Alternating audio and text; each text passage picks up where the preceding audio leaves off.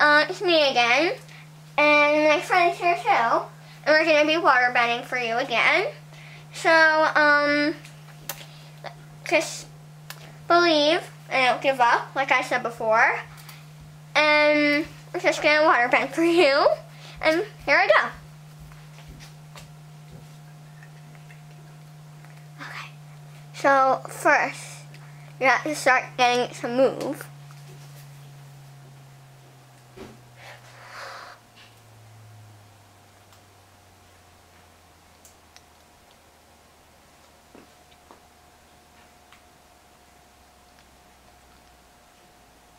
And then start making it get higher.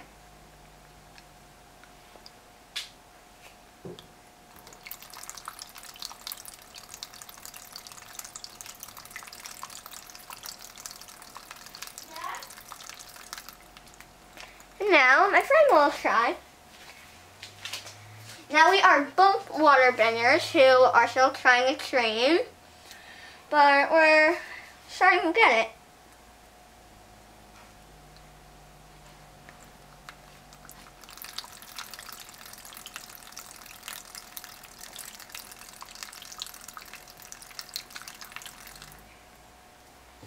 Well, thank you for watching. I hope you enjoyed it. And like I said before, um, the key to being a waterbender is to believe and never give up.